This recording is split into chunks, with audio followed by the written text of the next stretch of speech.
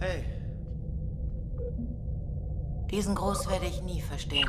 Man kann es vielseitig einsetzen. Erlaubt dem anderen, sich ein Gesprächsthema auszusuchen. Und wenn der über nichts reden will? Dann sagt er eben auch hey. Hey.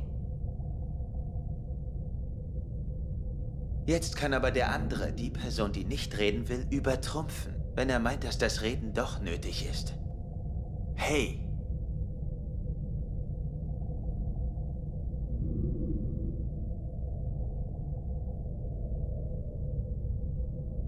Ich hasse es, überfallen zu werden.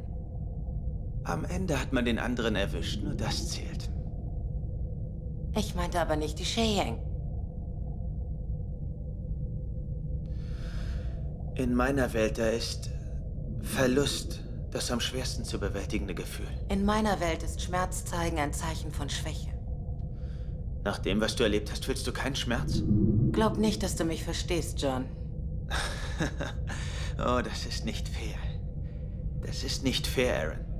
Du machst mich ständig dafür an, dass ich zu weich bin, aber in manchen Momenten ist es von Vorteil und jetzt ist so einer. Ich glaube, ich verstehe dich sehr gut. Es ist nicht möglich, dass du weißt, was ich fühle. Wenn ich irgendwann wieder die Möglichkeit habe, in meine Welt zurückzukehren, dann werde ich bei uns spazieren gehen und mein Haus sehen. Der Wagen. Im Garten liegt von einem Freund das Fahrrad und dann, dann gehe ich rein. Ich gehe durch das Wohnzimmer rauf in mein Zimmer. Ich hatte ein Poster von Clint Eastwood. Zwei glorreiche Halunken. Und dann denke ich, was wäre, wenn alle tot wären? Was wäre, wenn alle meine Freunde und meine Familie da liegen würden und tot wären? Wenn ich dann nach Hause komme, wie wäre das?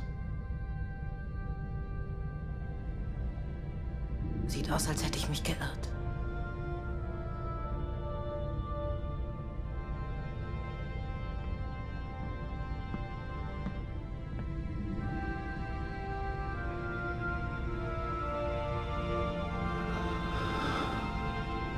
voller